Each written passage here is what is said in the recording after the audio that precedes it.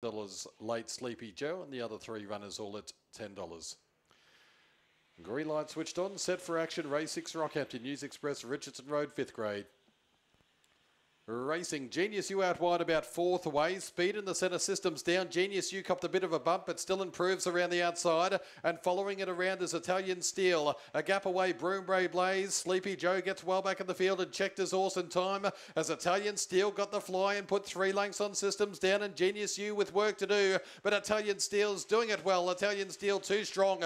Came away one by five on Genius U second. Systems Genius U copped a bit of a bump, but still improves around the outside. And following it around is Italian Steel. A gap away, Broombray Blaze. Sleep put three lengths on systems down, and Genius U with work to do. But Italian Steel's doing it well. Italian Steel too strong.